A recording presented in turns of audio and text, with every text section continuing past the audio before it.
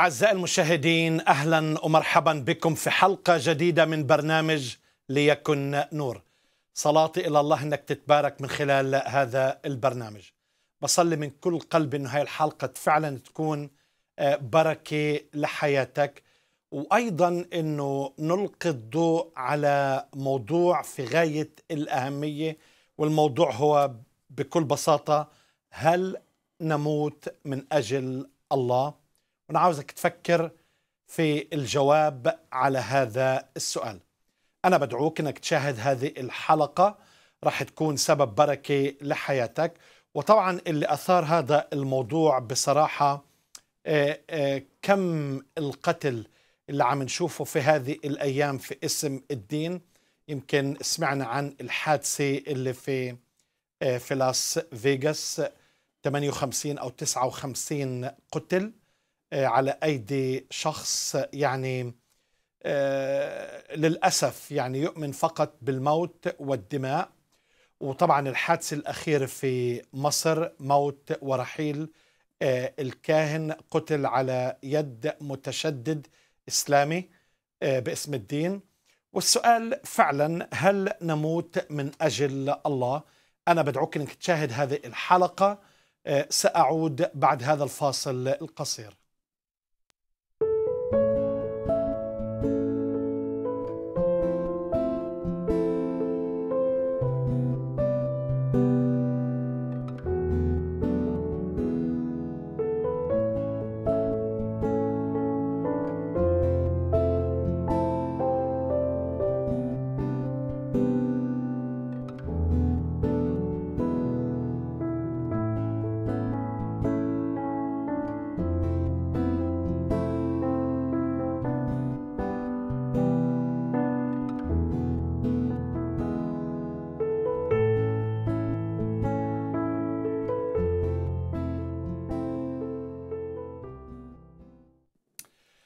أهلا أعزائي المشاهدين أنتم تشاهدون برنامج ليكن نور بث مباشر على فكرة على القناة الفضائية قناة الحياة. وحديثنا في هذه الحلقة هل نموت من أجل الله؟ وضيف هذه الحلقة هو بصراحة مش ضيف هو أخ آه، عزيز كثير على قلبي وزميل في الخدمة القسيس آه، ثابت مجلة. أهلا وسهلا. آه، قسيسنا الحلو. أهلا قسيس ثابت. أهلا قسيس نزار. أنا تتشرف دايما إن اكون موجود مع حضرتك وبصلي إن تكون الحلقة سبب بركة لكل المشاهدين. آه أنت خادم للرب وطبعا آه، دارس إسلاميات ودارس طبعا آه، العقائد المسيحية. وعاوز أسألك سؤال يعني هو فعلا فيه جدل في هذه الأيام. يعني هل يدعون الله للموت؟ وهل الموت شيء نرجوه؟ تفضل قسيس الحقيقة قسيس تزار إجابة السؤال بتتوقف على المعنى المقصود بالموت. وحاجة تانية بتتوقف على خلفية الشخص أو معتقد الشخص أو إيمان الشخص. لو أنا فاهم الموت بالطريقة الصحيحة هو الموت عن الخطية؟ نعم يدعونا الله للموت والكتاب المقدس بيقول في رسالة رسالة الرسول بولس إلى أهل روميا أصحاح 12 وعدد واحد واثنين فأطلب إليكم أيها الإخوة برأفة الله أن تقدموا أجسادكم ذبيحة حية مقدسة مرضية عند الله عبادتكم العقلية. لو أنا خدت الآية دي وأنا مش فاهم المسيحية هفكر على طول إن الله يدعو إن الناس تموت نفسها من أجل الله. الفكر ده مش فكر مسيحي على الإطلاق لأن الفكر المسيحي الله الظاهر في الجسد. شخص ربنا يسوع المسيح هو الذي جاء ليقدم نفسه نيابة عنا ده ده الفكر المسيحي. لو هاخد حتى من القديم إن فكر الله للإنسان إيه اللي عايزه الله للإنسان؟ لو الله عايز الإنسان عشان يموت أو يموت من أجله ما أعتقدش إن هو يكون إله.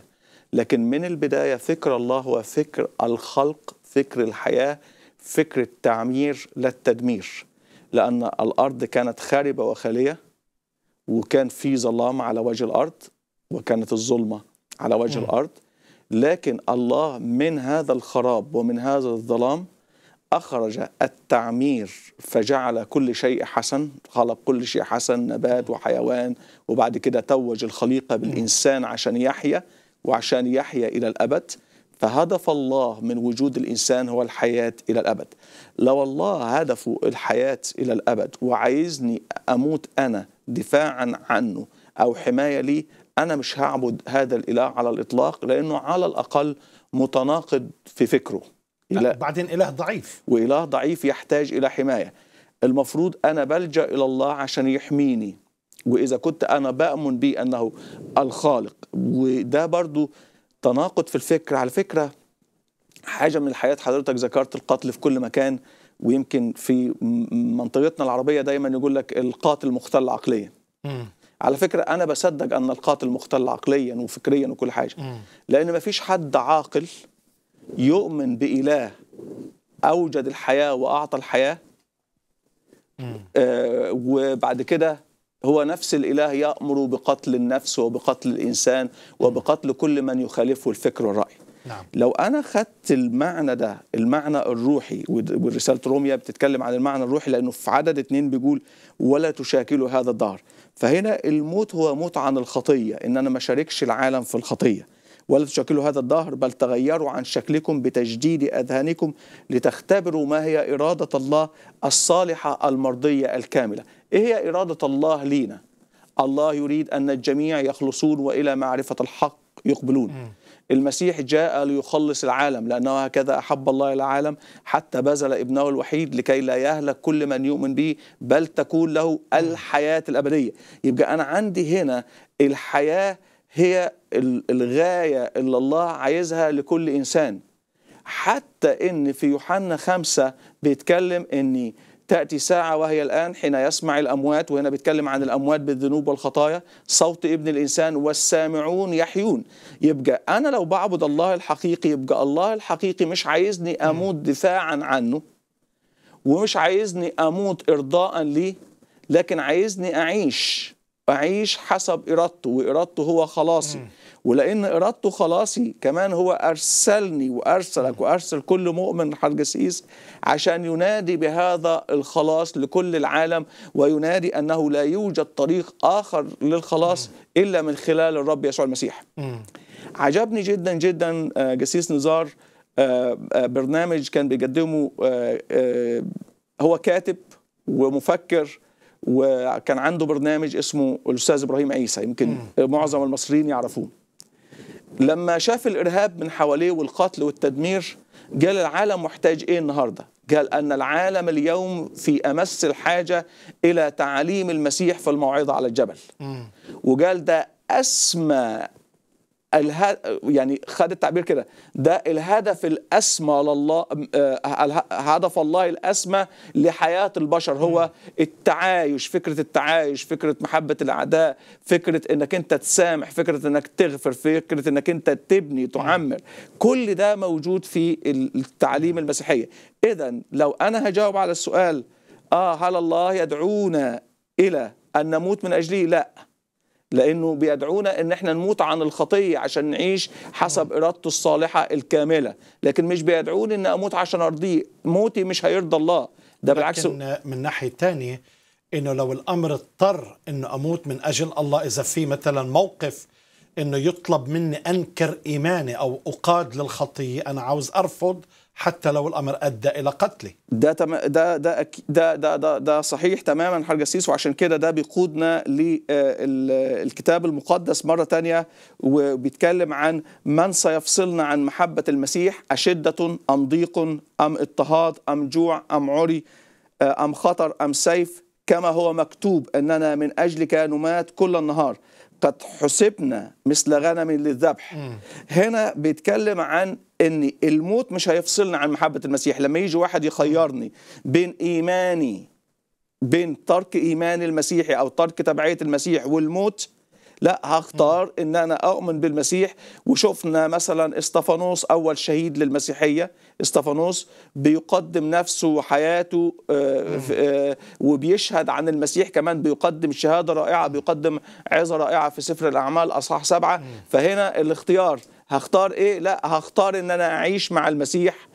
أو أنتقل بالموت إلى إن أنا أكون برضو مع المسيح. فالموت والسيف وأنا أعتقد إن الآية دي بتنطبق علينا النهارده وإذا كان السيف هو اللي بيشهر عدو الخير وأتباع الشيطان في وجه المؤمنين عشان يتركوا الإيمان. لكن نشكر الله جسيس نزار إن المؤمنين الحقيقيين حتى ولو كانوا بسطاء وفي تاريخ كبير جدا جدا في الكنيسة حتى الناس اللي هم رايحين على زي ما بنقول بالتعبير المصري رايحين يجروا على لقمة العيش في ليبيا ويخيروا بين أن يتركوا المسيحية ويؤمنوا بالإسلام أو يموتوا بيختاروا الموت.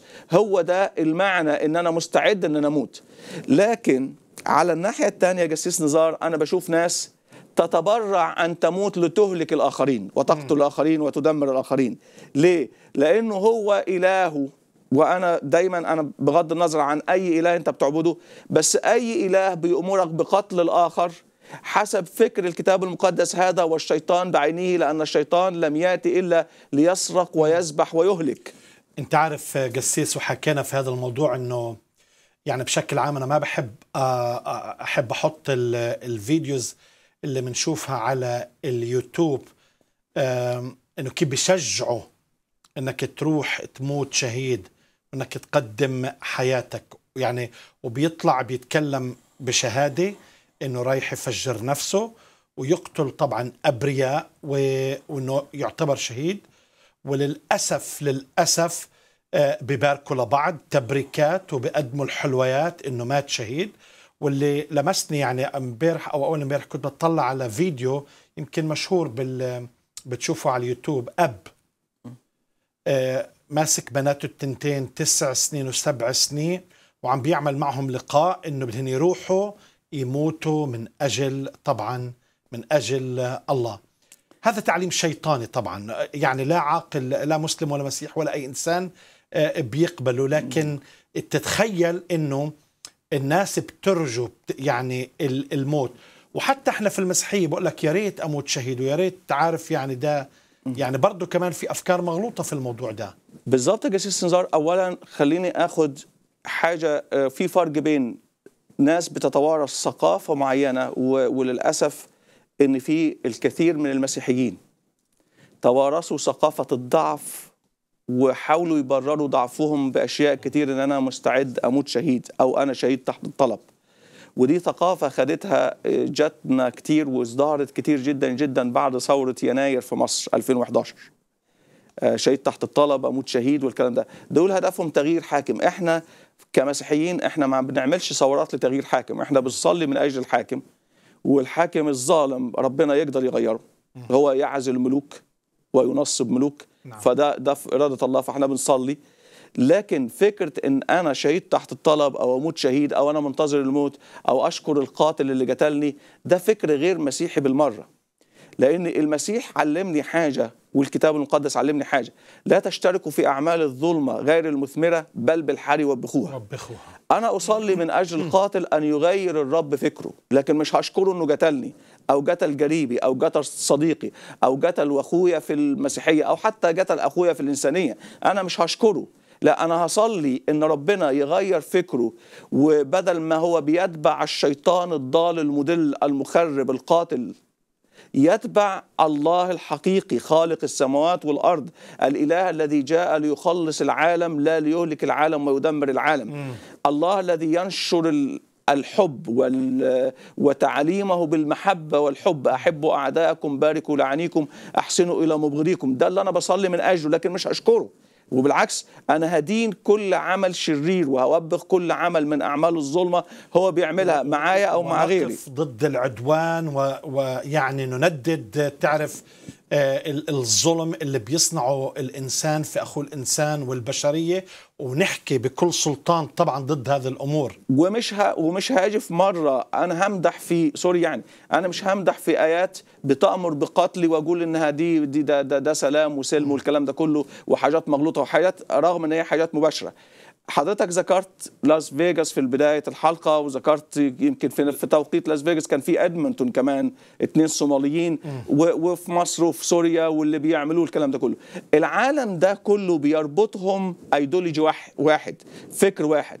هو فكر أن هذا العالم كافر إلهه الذي يعبده اللي أنا بعتبره الشيطان القاتل سافك الدماء الذي جاء ليذبح هو اللي بيأمره بقتل هؤلاء الناس فده بيربطهم فكر واحد.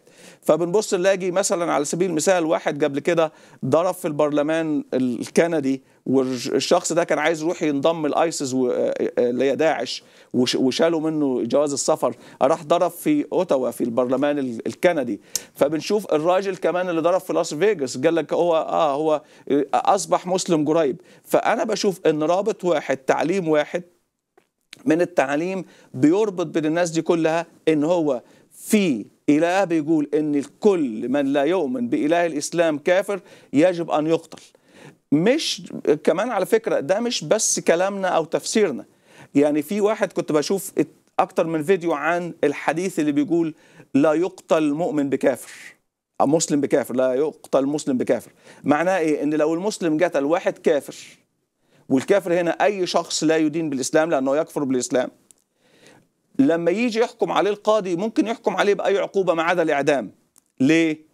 لأنه دم المسلم أعلى من دم ال- ال- ال- الكافر.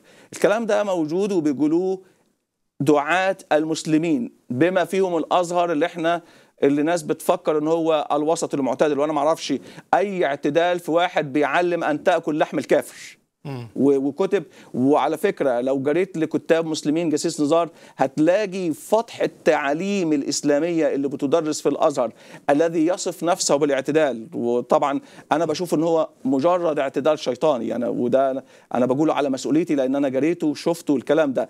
فهنا اللي أنا عايز أقوله جسيس نزار إن هنا في فكر شيطاني فكر التدمير والخراب وده الفكر اللي بيوجه الشيطان نحو العالم. فهنا أنا عندي مملكتين مش ثلاث ممالك. أنا عندي مملكة الظلمة بما فيها الإلحاد وغير الإلحاد والكلام ده كله. كل إنسان بيبعد بيبعد الإنسان كل ش... كل فكر وكل شخص بيبعد الإنسان عن الله الحقيقي. وعند فكر النور اللي هو المسيح النور الذي جاء إلى العالم. اللي اللي بيقول عنه الكتاب فيه كانت الحياة والحياة كانت نور الناس والنور يضيء في الظلمة والظلمة لم تدركه. فهنا بشوف ده الفكرين فكر الحياة وفكر الموت. فكر النور وفكر الظلمة.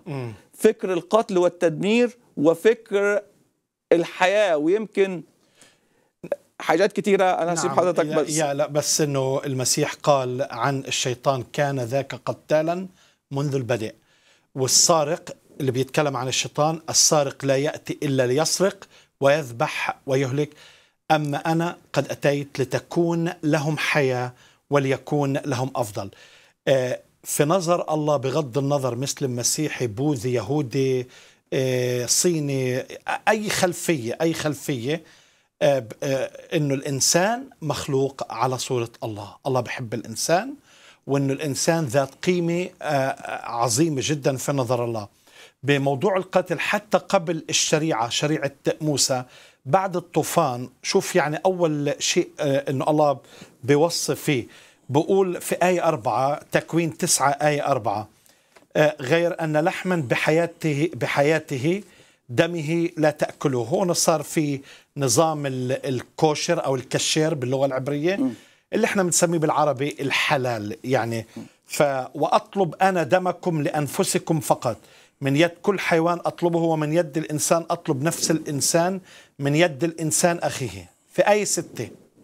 سافك دم الإنسان بالإنسان يسفك دمه لأن الله على صورته عمل الإنسان. فإذا إحنا عم نشوف هنا في الأرض قضاة وحكام آه، ديانين بيحكموا على الناس وبيعملوا ما ما يشاءوا في اسم الدين والرب يسوع وصفهم في في إنجيل يوحنا إصحاح 16 أنهم يقدمونكم إلى المجامع يقتلونكم وكأنهم فعلوا أو عملوا خدمة لله. فطبعا هاي المأساة وهاي الخدعة.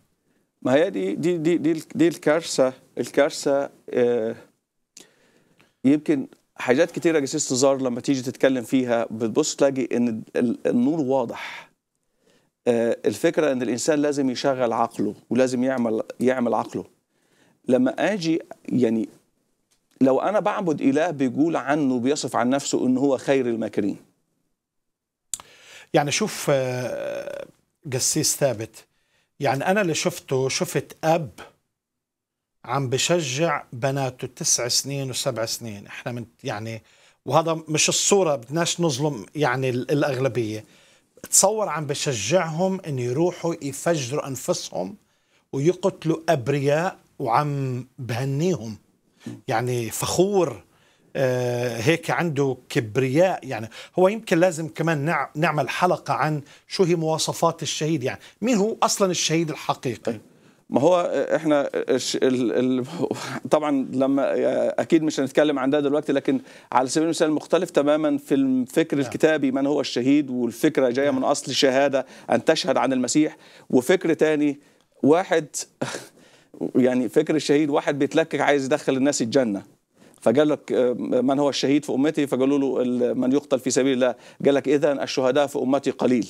وبعد كده راح مضايف قال لهم الغريق شهيد والمبطون شهيد والمطعون شهيد ومش عارف إيه شهيد. وحط بقى إيه آه والغريق شهيد. طبعا آه، زي ما حضرتك هذا قلت كله بيختلف حتى عن الفكر الغربي أه. اللي هو أصلا تأسس على الأخلاقيات اللي هي الكتاب المقدس. الكارثة جسيس نزار ان ال- الكارثة ان برضه الفكر الغربي مش فاهم الفكر العربي أو الفكر الإسلامي. الفكر الغربي يعني أنا اتكلمت مع ناس كتير من ال- الناس الغربيين اللي إحنا عايشين وسطهم. عنده فكرة محبة الآخر. يعني مثلا محبة الآخر والإحسان ومساعدة الآخر ومساعدة الآخر على النجاح بغض النظر عن لونه ودينه وجنسه والكلام ده كله وصادقين جدا جدا في الموضوع هذا ده. هذا ال- ال- القانون تبع حقوق الإنسان حتى في الأمم المتحدة. إنك يكون عندك التولرنس آه. التعايش آه. تحترم المرأة وتحترم حتى الحيوان بيحترموه يعني. ده القانون اللي وضعه حتى الكتاب المقدس يشرق شمسه على الأشرار والأبرار. ف ف ف فده ده قانون كتابي قانون وعلى فكرة البلاد دي تأسست على الفكر المسيحي عشان كده بيحبوا اعدائهم الفكر هم مش متصورين الغرب مش متصور إن واحد جاي أنت بتمد له إيدك يقتلك لا هو بيشوفك إنك عدو الله. قاتل هو بيقتل أبوه يعني مثلا أو يقتل ابنه. وإحنا بنشوف جسيس نزار وحوادث كتيرة يمكن حضرتك سمعت إن لو واحد مثلا دخل المسيحية الابن دخل المسيحية مش هيستنى الحكومة لما تعاقبه ولا واحد مسلم من بره يقتله هو هيقتله بإيده أو العكس. فهنا فكر بنى على التدمير فكر بنى على فكرة إنك أنت حتى ما تفكرش. فكر بني على إنك أنت ما تختلفش عني. لما تختلف عني هقتلك. وبنشوف الكلام ده حتى وسط المسلمين وأئمة المسلمين. في واحد كتب مقال زمان آه، في جريدة مصرية عن أسوأ عشر شخصيات في الإسلام. وهم الشخصيات المبشرين في الجنة وتقريبا اتصدرت ال- الجريدة. أنا عندي تقريبا العدد بتاع ال- الجريدة دي. وبيتكلم عن عائشة اللي قادت معركة الجمل وقادت القتل والدماء وسفكت الدماء ودي عائشة اللي رسول الإسلام قالوا خذوا نص دينكم من عائشة. دي قادت حرب دموية الرسول نفسه قاد غزوات كتيرة جدا جدا. فهنا فكرة هو بيعمل إزاي؟ يعني أنا سمعت آه، شفت فيديو جسيس نزار آه، واحد اسمه صفوت حجازي المصريين يعرفوه ده واحد من الإخوان المسلمين. فكان بيتكلم عن إن خالد بن الوليد لما كان بيقتل وجاء ابنه كمان بيقود جيش ويقتل فقال له لا أنت ال- ال- القتل بتاعك ده مش عاجبني لأنك مش عارف بتقتل آه، هامات الرؤوس لازم تقطع من الجذع فقال لك حتى طريقة القتل الوحشية بيدربوهم عليها. فهنا جسيس نزار أنا مش بلوم على فكرة أنا مش بلوم للشخص اللي بيعلم أولاده كده ولا الأولاد اللي بيطلقوا التعليم كده. أنا بلوم إن إحنا لسه سايبين هذا التعليم ينتشر في هذه البلاد. تع- إنه قصدك لازم نرجع للجذور يعني إحنا بنعالج بنقول بنبرر أمور كثيره تحت مسميات كثيره لكن بالحقيقة لازم نرجع للأصل. ليه بفكر بهاي الطريقة؟ يعني- ليه بيعمل يعني لو واحد مسيحي قتل باسم الدين كل العالم حتلاقيه بينكر آه، يعني هذا الشيء لأنه هذا شيء غلط وضد الكتاب وضد تعليم وأخلاقيات المسيحي. بالظبط عشان يعني هاي الفكرة. وعشان كده أنا بقول أنا ليه مش بلومه؟ ليه مش بلومه أنا بلوم الفكر المنتشر لأن المسيحي لما يعمل كده هو ضد الكتاب على خط مستقيم عشان كده بيلفظ من المجتمع. وكل المسيحيين تلفظوا من المجتمع. لكن لأنه... المسلم لما يعمل كده يعني على سبيل المثال إلى اليوم جسيس نزار الأزهر منارة الوسطية زي ما بيقولوا ده طبعا نكتة كبيرة إنه منارة الوسطية في العالم العربي. لم يكفر داعش إلى اليوم. ما قالش إن داعش خارج عن الإسلام. يقول لك يقولها كده بينه وبين الناس لكن يقول لك أنا ما أقدرش أكفر داعش لأنهم ناس مؤمنين بالإسلام. يبقى ما تجيش تقول ما تجيش تقول لي إن داعش دول مش مسلمين. الحاجة الثانية أنت في ناس لما ف... لما فكرت بس تنتقد داعش تسخر من داعش حطيتها في السجن. أطفال حطيتهم في السجن. فهنا ده ده الخلل اللي موجود في المجتمع ودايما أنا برجعه للفكر. اتعلمت فكر نقي هتبقى نقي. اتعلمت فكر فاسد هتكون الإنسان هيكون فاسد. اتعلمت حاجة عن الشر هيكون شرير. فده اللي إحنا بنشوفه جسيس نزار. أساسه التعليم. لما بيقول لي إن ده كافر والكافر ده عدو الله يبقى لما بقتله أنا برضه الله دي دي منطقيا صحيحة. ف... ف... جسيس ثابت إحنا راح أسألك سؤال عشان جاوب. يعني طيب إحنا ممكن نحكي في هالموضوع كثير أو قليل. شو هو رد المسيح؟ على هذا الموضوع. خليني أخذ بس يعني فاصل قصير وبعد ردك كمان بنبتدي ناخذ مكالمات. أنا بدعوكم إنه تبتدوا تتواصلوا معنا رقم الهاتف موجود على الشاشة. فيك تتواصل معي. سأقول سأرجع بعد هذا الفاصل القصير.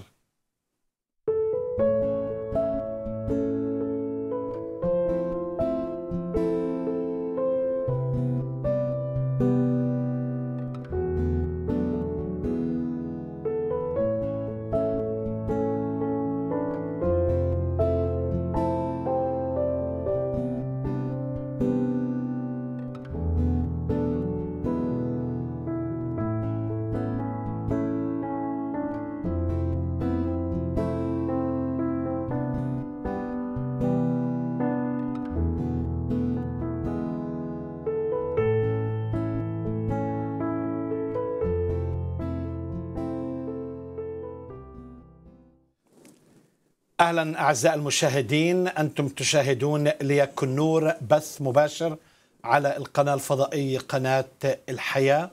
ومعي القسيس ثابت مجلي. وحديثنا هل نموت من أجل الله؟ طبعا انت ذكرت وعندك أكيد معلومات كثيرة قسيس ثابت لكن ما هو رد المسيح على هذا الموضوع؟ طيب حضرتك يمكن ذكرت ويمكن الفكرة اللي حضرتك ذكرتها بتدينا مقارنة صغيرة بين فكر الشيطاني وفكر المسيح وحضرتك ذكرتها من يوحنا عشرة السارق لا يأتي إلا ليسرق ويذبح ويهلك وأما أنا فقد أتيت لتكون لهم حياة وليكن لهم أفضل, أفضل. فإذا هنا المسيح جاي عشان يعطي الحياة هو واهب الحياة ومصدر الحياة. كتب عنه في إنجيل يوحنا أصحاح واحد فيه كانت الحياة والحياة كانت, كانت نور, نور الناس, الناس. والنور يضيء في الظلمة والظلمة لم تدركه. يبقى هنا رد المسيح المسيح إرادته الحياة والخلاص. حتى إن في يوحنا 3 16 بيتكلم عن إن هو جاء عشان ياخد مكاني لأنه هكذا أحب الله العالم. حتى بذل ابنه الوحيد لكي لا يهلك. هنا مفيش مش عايز يدمر لكي لا يهلك. كل من يؤمن به بل تكون له الحياة الأبدية. وهنا الهلاك عكس الحياة فهنا القتل والتدمير ده عكس الحياة. فالمسيح جاي عشان يكون لنا الحياة الأبدية. فده ده كلام المسيح. المسيح بمجيئه وبيقول الكلام ده في الرسالة الثانية إلى تيموثاوس أصحاح واحد.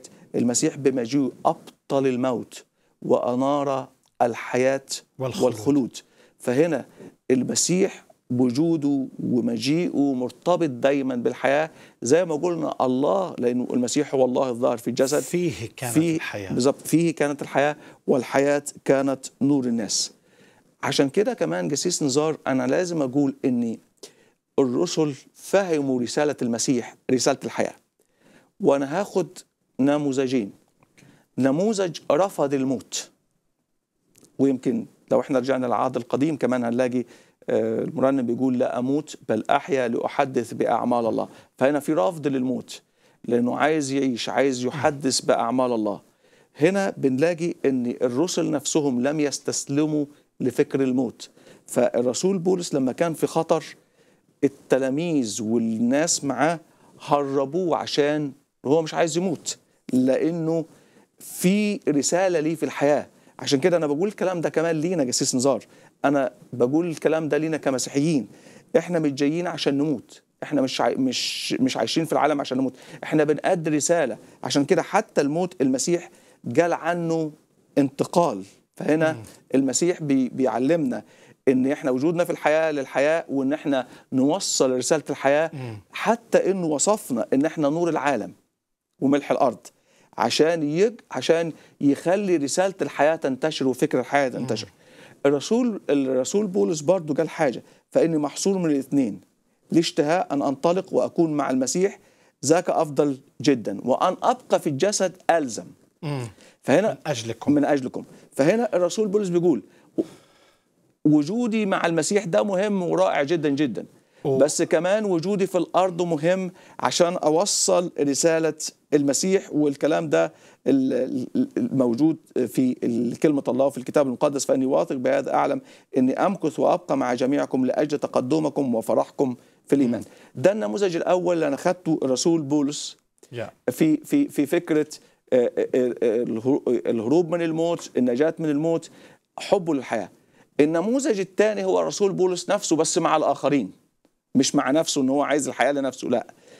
الرسول بولس في أعمال 16 اتوضع هو وسيلة في السجن ووضعت أرجلهما في المقطرة يعني خدوا أشد أنواع التعذيب. سجان فيليبي هو كان المسؤول عن تعذيبهم هو كان الحارس على السجن عشان يعذبهم. هنا خليني أفكر بالفكر البشري العقل البشري. أنا بتعذب ربنا اداني فرصة إن أتخلص من المعذب بتاعي ومش هقتله أنا. هو هيقتل نفسه. حسب الفكر والمنطق البشري هعمل آه، لو كنت طبعا لو كنت مودرن يعني هعمل بس آه، ركعتين شكر لله وأقول له شكرا لأنك خلصتني من عدوي. لكن هنا مش الفكر البشري هنا الفكر المسيحي. يقول له لا تفعل بنفسك شيئا رديا الراجل استل سيفه وحاول يقتل نفسه. قال له لا تفعل بنفسك شيئا رديا لأن جميعنا هنا. اللي عايز أقوله من القصة دي لأن قصة يعني حدث مؤثر جدا جدا وبيبين سمو الفكر المسيحي. مش أنا عايز أحيا بس ده أنا عايز الآخرين يحيوا. مش الآخرين هم أحبائي وأصدقائي. عدوي اللي بيعذبني أنا عايزه يعيش.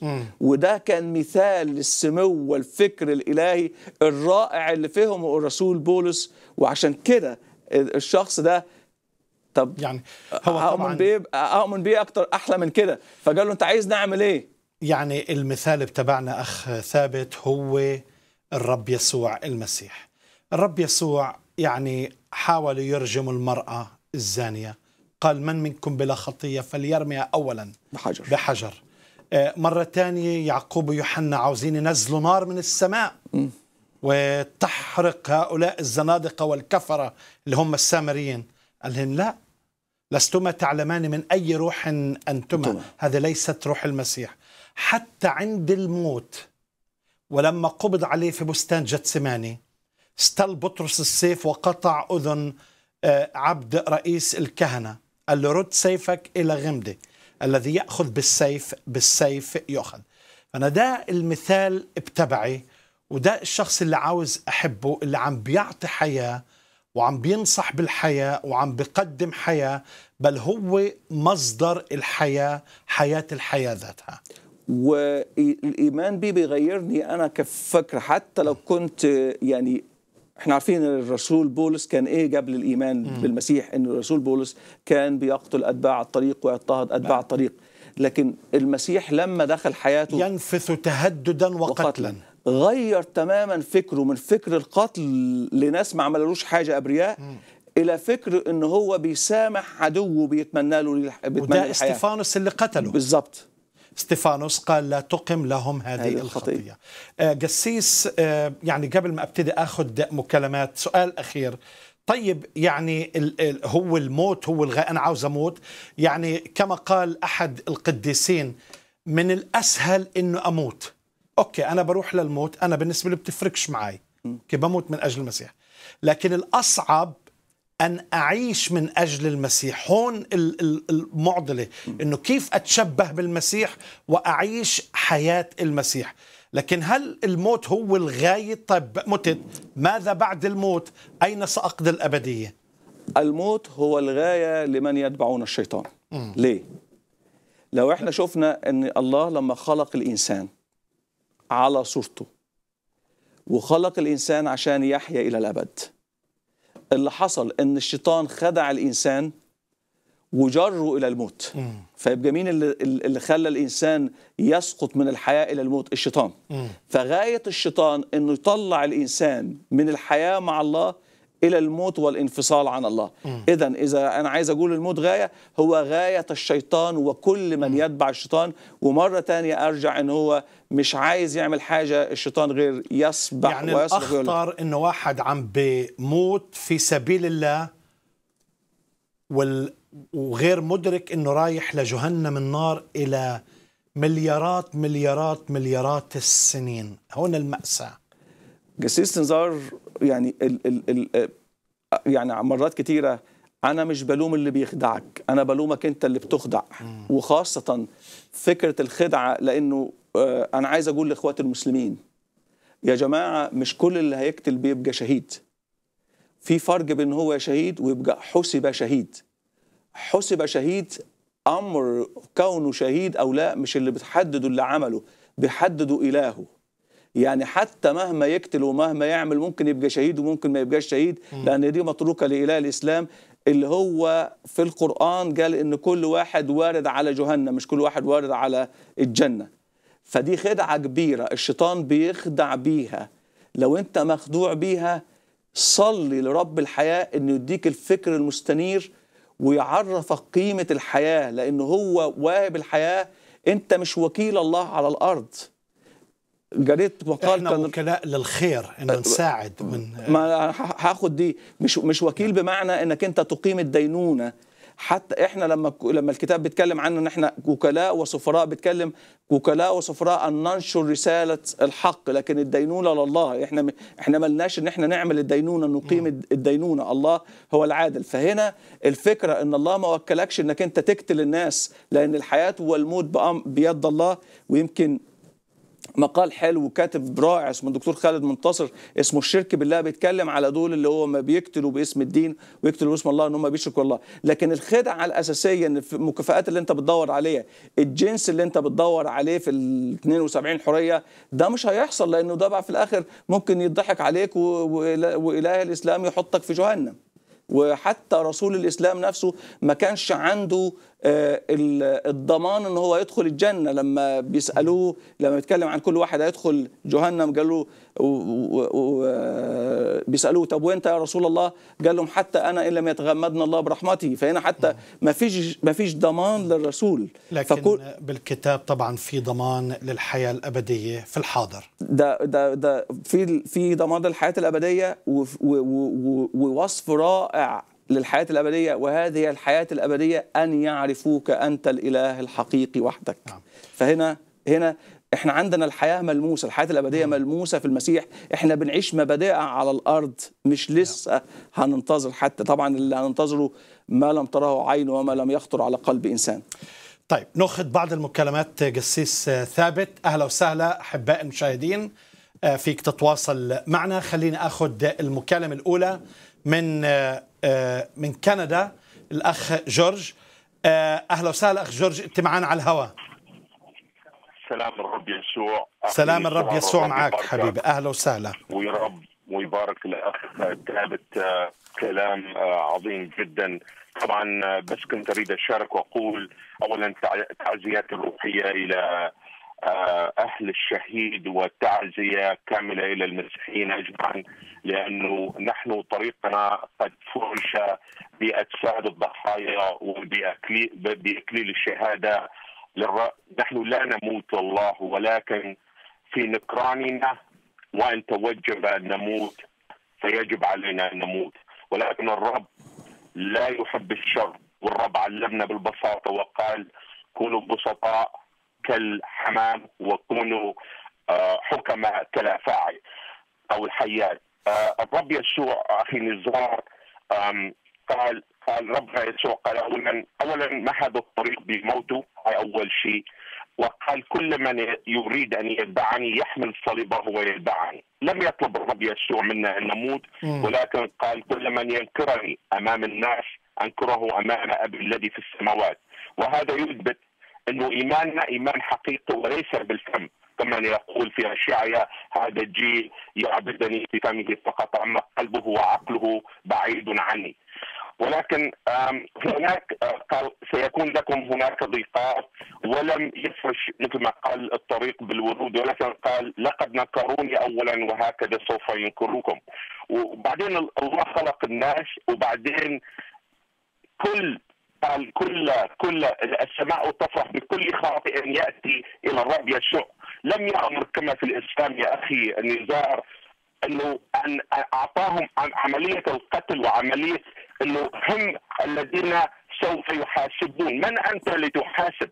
اولا لتكن نقيا كاملا حتى تحاسب. الله وحده الذي يستطيع أن يأخذ ما اعطى ولكن الإسلام يضعون عملية الأخذ في أيديهم. مثال يقول لك وقاتلوهم حتى لا تكون في الانفال 8 حتى لا تكون فتنة ويكون الدين كله لله. بعدين يقول آه، في سورة في سورة السبت يقول آه، في سورة الصف 61 أربعة أن الله يحب الذين يقاتلون في سبيله.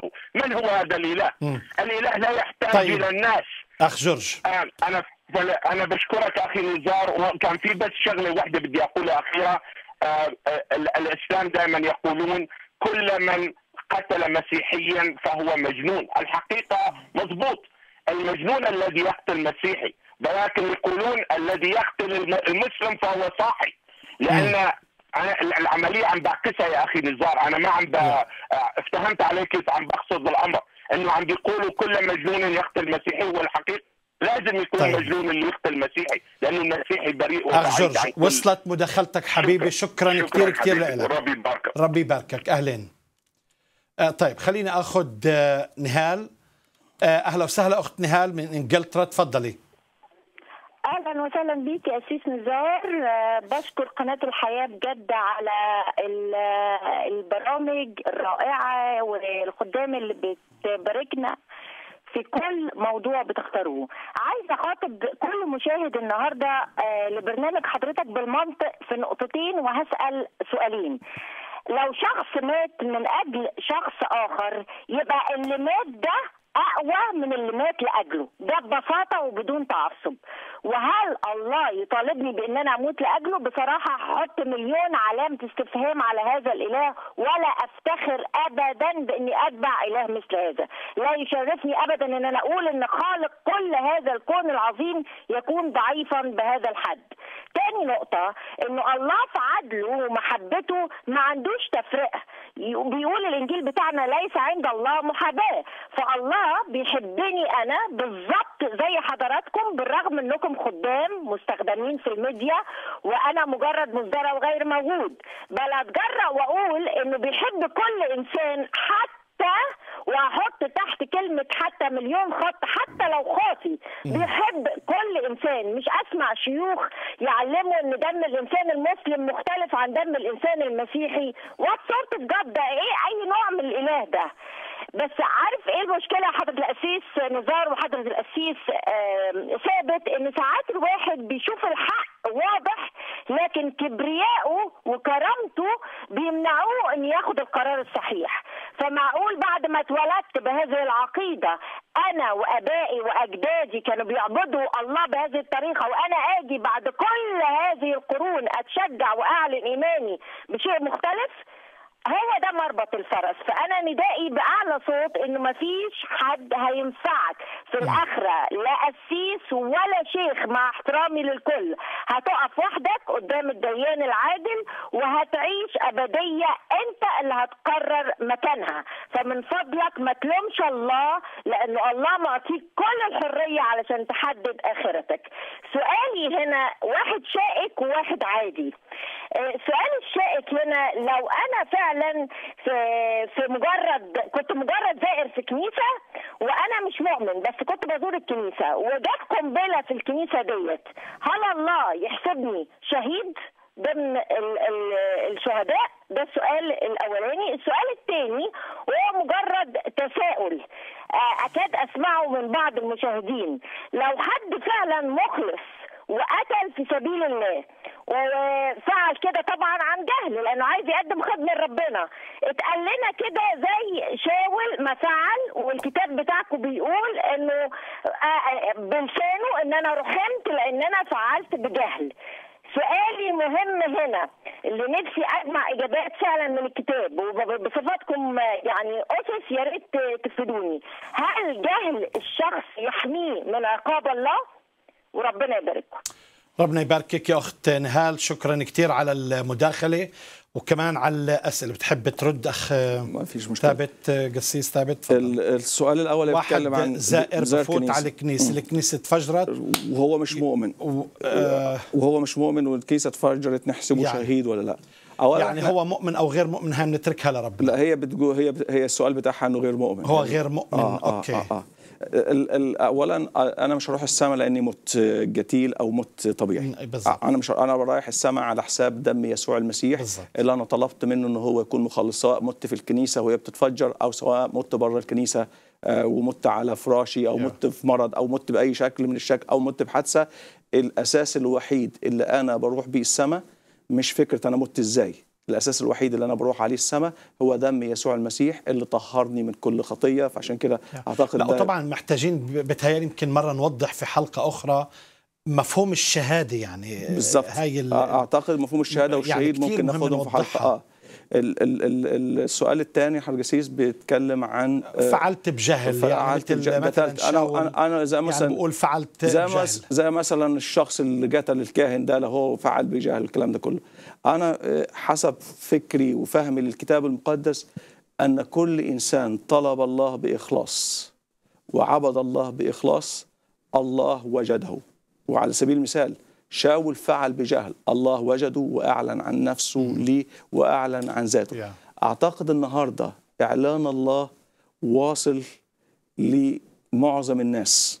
ده يعني أنا ده, ده, ده أنا أقول أقول حاجة تانية آه، وحاجة كتابية. كرنيليوس ما كانش يعرف الله وكان بيصلي إلى الله في أعمال عشرة. وطلب الله وربنا قال له صدقاتك طبعا بيصلي حسب الطريقة بتاعته مش حسب الطريقة المسيحية ولا اليهودية في الوقت ده. فالله سمعه. لما سمعه بعت له الشخص اللي يعلمه عن طريق الخلاص اللي هو بطرس. فلو شخص فعلا مخلص في عبادته لله وبيعبد بطريقة خاطئة الله هيبعت له اللي يعلمه وإحنا هيعلن له. هيعلن له ويبعت له اللي يعلن له واللي يوضح له. شفنا ده في كرنيليوس نشوفه في الخصي الخ- الحبشي. نشوفه في ليدية بائعة الإرجوان اللي كانت دايما بتروح وتصلي كانت متعبدة. لكن لما الله بعت لها بولس فتح الرب قلبها فآمنت.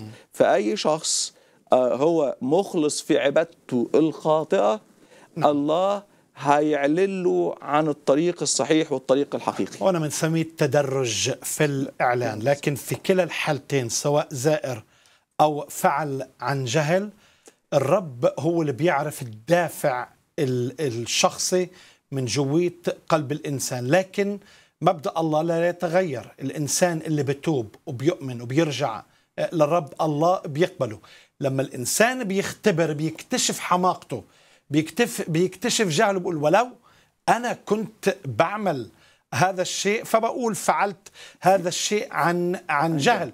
لأنه بولس عم بيتكلم بيقول كنت مفتريا كنت مجدفا كنت مضطهد للكنيسة.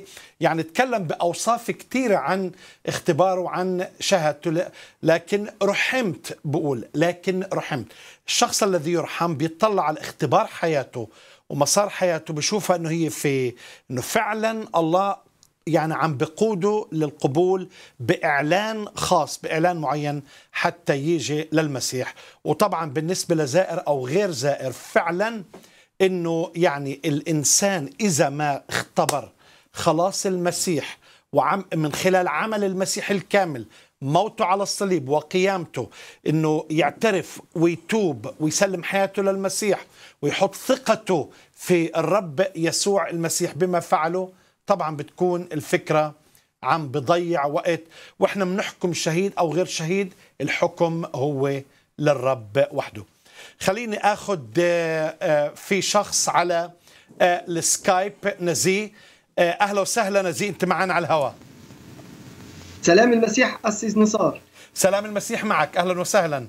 سلام المسيح أسيس ثابت ربنا يبارككم وبنستفاد كتير جدا جدا من البرنامج الروحي ده. سلام بس المسيح أنا عايز. أقول حاجة يعني الكل اللي بياخد مداخلة هي مسيحي.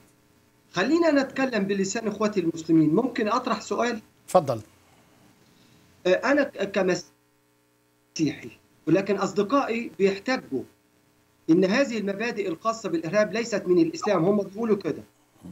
ليست من الإسلام لأن الإسلام دين رحمة وسلام وحب ومن أشهر الآيات تقول وإن جنحوا للسلم فاجنحوا لها. فما ردك على فكرة الإرهاب دعوة إسلامية؟ وبل القرآن كمان بيقول لك إن إن الذين قالوا أس- إننا قس- قسيس قسيسين ورهبان هم أكثر الناس مودة للمسلم وقريب منه. آه يعني آه الرد آه، حتى قبل ما أخلص موضوع الشهادة أنا ليا تحفظ عليه لأن مش كل واحد بيموت نقول عليه شهيد. وربنا يبارك. الرب يباركك. بالنسبة للجزء الثاني من الآية بيتكلم عن يعني تجدن أشد الناس عداوة للذين آمنوا هم اليهود وأقربهم مودة.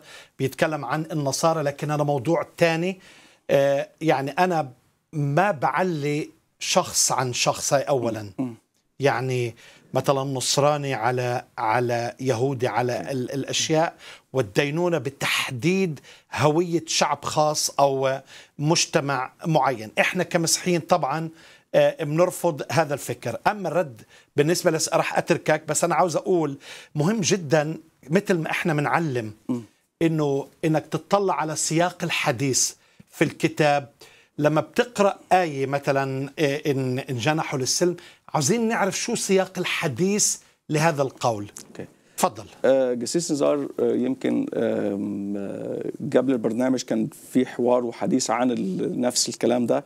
آه، لكن أنا خليني أقول حاجة آه، في فكرة إن جنحوا للسلم وآيات السلم في القرآن. على السريع يا قسيس آه، اولا سريع سريع إيه, يعني. آه إيه هو السلم؟ إيه هو السلم بالنسبة للمسلم؟ إن جنح للسلم أن يسلم.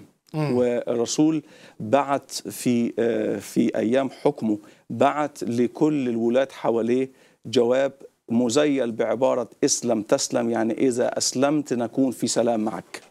فالحاجة الوحيدة اللي هيخلي المسلم يكون في سلام معك حسب الفكر الإسلامي أن تكون مسلم ولو جريت التوبة خمسة تبدأ من أربعة وخمسة لغاية تسعة ولغاية تسعة وعشرين أنا بتكلم على التفسير. ما هو ده قسيس إنه إنه سياق الحديث بالظبط. الآية أخذت شو السياق ما عشان؟ كده ما عشان كده إيه ان جنحوا للسلم. يعني تجنح للسلم يعني تبقى مسلم. وده اللي لا يتعارض مع التوبة 29 اللي هو بيتكلم عن قاتلوا الذين لا يؤمنون بالله وباليوم الآخر. آه آه، فنفس نفس القصة. فهنا جنح للسلم معناه إنك تيجي للإسلام ترجع للإسلام.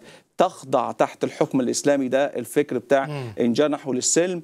وهنلاقي كمان أنا مش هتكلم عن فكرة المنسوخات وإن إيه السي- السيف نسخت آيات آيات آيات الس- السلم حسب. الكلام ده. لكن كمان حاجة تانية ويمكن أنا كنت بشارك حضرتك بيها فكرة حتى آه، فكرة من قتل نفسا بغير نفس كانه قتل الناس جميعا.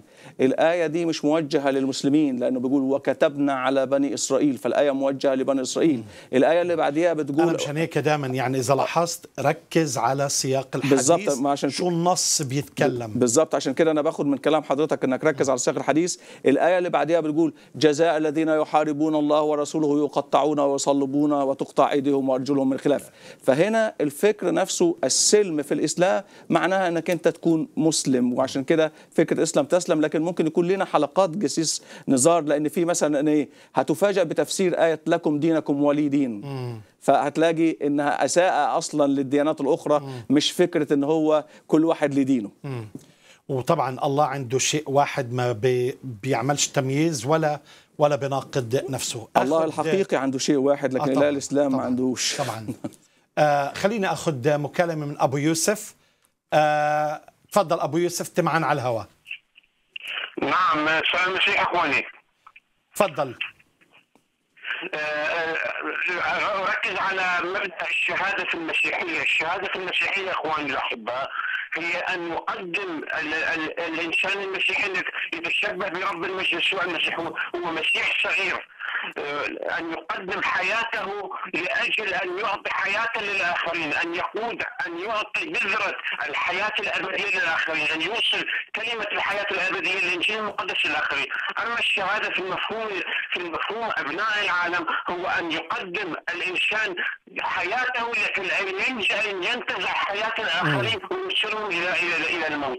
هنا قد شوه الشيطان قد شوه معنى الشهادة وهذا وهذا طبعا هذا آه، يلعب الشيطان على على على المعاني الروحية والساميه ويشوهها وهذا شيء خطر جدا. ومع السلام المسيح مع الجميع. شكرا جزيلا أبو يوسف. آه، أنا راح أعتذر للإخوة اللي بيشاهدونا إنه يعني أزف الوقت يمكن بتهيألي معنا دقيقتين. آه، قسيس لو عاوز تستجمع الفكرة في في الموضوع إيش اللي ممكن نقدمه للمشاهد؟ هل نموت من أجل الله؟ جسيس الزار يعني الفكرة الأساسية أن الله طلب منا أن إحنا نقدم أجسادنا ذبيحة حية بمعنى أن إحنا نموت عن العالم ونتغير عن مبادئ العالم مبادئ الفساد والقتل والظلمة. لأننا أصبحنا في مملكة النور والنور الحقيقي اللي ينير كل إنسان هو يسوع المسيح. ارتباطي بالنور بيجعل حياتي نور. عشان كده وصفني كابن لي إن أنا إن إن لما قال أنتم نور العالم أنتم ملح الأرض نعم. عشان ننير بهذه الرسالة ونعلن أنه لا خلاص إلا من خلال شخص يسوع المسيح. الموت في المسيحية ليس هو الغاية الموت في المسيحية الحقيقة هو دخل مع دخول الخطية إلى العالم لكن الحياة هي الغاية. فيه كانت الحياة والحياة كانت نور الناس. فأتمنى أن الرب يمتع كل مشاهد بالحياة في المسيح ومع المسيح. الفكرة تمني الشهادة هو تمني الموت. أنا أنا أنا بشتهي أن أكون مع المسيح زي رسول بولس لكن أنا عارف أن ليا خدمة هنا. أنا مش بشكر القاتل أنا بصلي من أجل القاتل أن الرب يفتح عينيه ويدرك الحق ويدركه الحق. يعني الحق يجده الله هو يجده لأن ده الله دايما الضال ما بيجدش نفسه. الله هو اللي بيجد الضال فبطريقة أو بوسيلة بوسائل كثيرة وشفنا جسيس ناس كثيرة عبرت للإيمان المسيحي من خلال وسائل حتى غير بشرية. فبنشكر الله إن هو بيبحث عن الإنسان. نشكر الله إن هو بيوصل رسالته رسالة الحق للإنسان بيعلن نور الإنسان عشان هو ضامن لنا الحياة الأبدية من خلال دم يسوع المسيح الذي يطهرنا من كل. خطية. وبداية الآية بتقول لأن لي الحياة هي المسيح والموت ربح. قسيس ثابت شكرا جزيلا الرب يباركك آه، فعلا إذا أنا بدي أعيش غرض الحياة وهدف الحياة هو يسوع المسيح. الغرض إنه المسيح عاوز يعطي حياة عاوز يعطي معنى قيمة للإنسان. مشان هيك أجا أخذ مكانك حتى يعطيك الخلاص. بتمنى من كل قلبي بصلي أنه الرب يلمسك اليوم ويعطيك الحياة الأبدية. الرب يباركك.